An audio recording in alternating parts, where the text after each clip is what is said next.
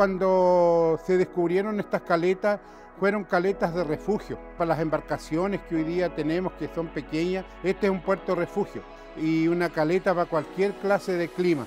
Y si vas un poquito más a medio, en la misma piedra, tiras una lienza, sacas pescado, sacas marisco y vivís, vivís porque tenéis para comer.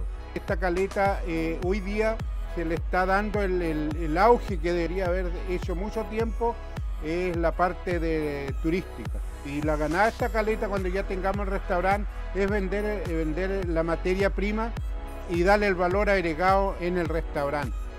Yo quiero invitar a toda la gente que ande de paso, principalmente el turístico, que venga a conocer la caleta de Metri, porque esta es una caleta que da sorpresa. Yo te diría que esta caleta se vuelve milagrosa.